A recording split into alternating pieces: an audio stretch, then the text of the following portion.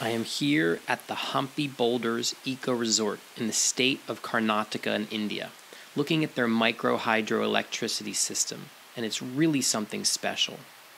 The dam holds back water, and the water is channeled through a pipe into this turbine where it turns a wheel round and round, and it powers a small generator. The height of the water above the turbine or head is what creates the pressure to turn the wheel around, as the water is forced through a pipe at the top of the dam.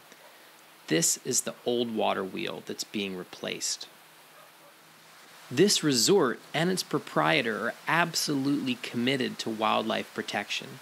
So the dam has been designed with a very functional wildlife ladder, not only for frogs, fish, and mammals, but also for the resident crocodiles who populate the area. Uh-huh.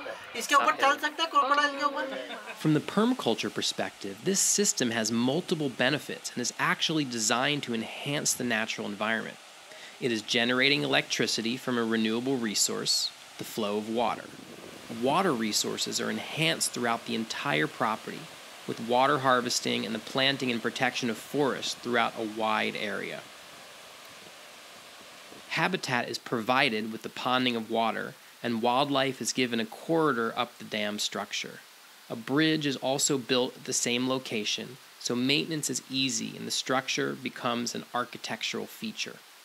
This is the stacking of functions that we should be doing with all electricity generation systems.